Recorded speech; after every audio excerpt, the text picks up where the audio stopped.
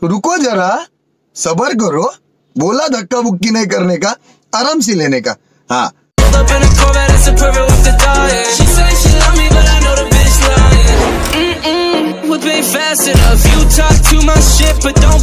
Shoot on deck if you're trying to get bagged up. It's broken boy, bitch. I don't need to throw rags up.